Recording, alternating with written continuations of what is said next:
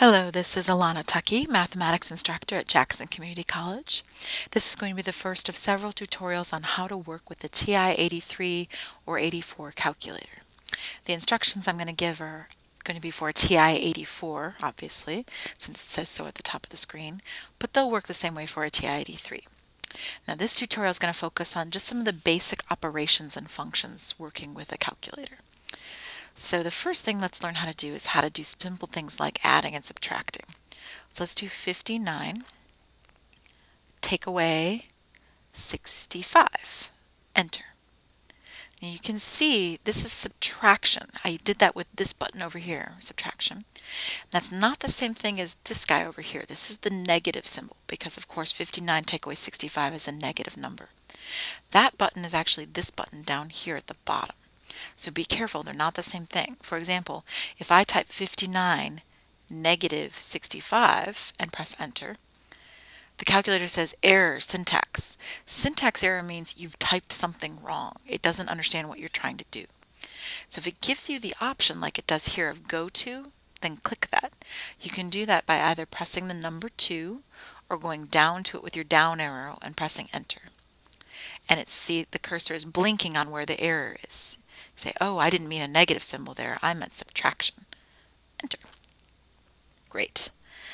All right, now that we know how to do that, what about getting to do squarings for us? How about I want to do 6 to the 2 power. Then I can hit this guy over here, the x squared button, and that'll square that number. And then you press enter, and there's 36.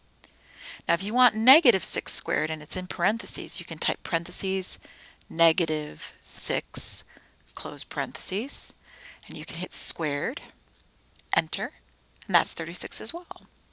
And be careful, that's not the same thing as negative 6 squared.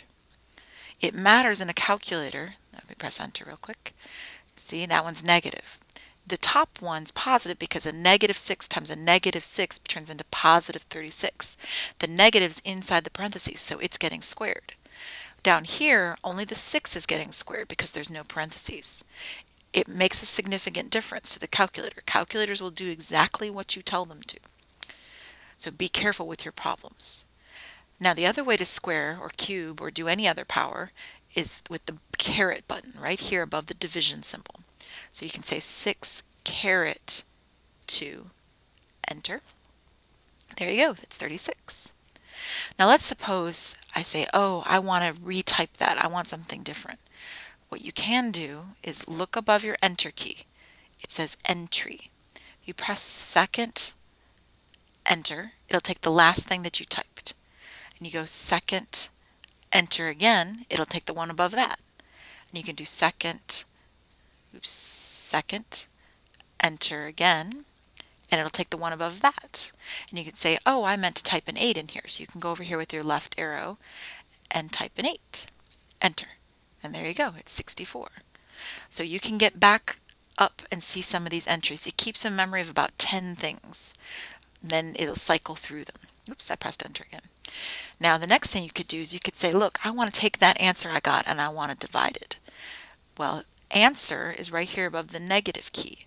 So you can hit second ANS and let's say I want to divide it by 10 for the sake of it. Enter. There you go and it gives me the answer. So it's taking the last answer I had, 64, and dividing it by 10. Now entry cycles through the last few. Answer unfortunately only takes the last answer you've got. You can't go back up and get the 36. You can't go back up and get the 64. If I were to hit ANS right now, it would only know the 6.4. That's it. Now, how else can you do powers? What about all the powers like third powers and fourth powers? How do you do those? Well, you can do 6 caret 3.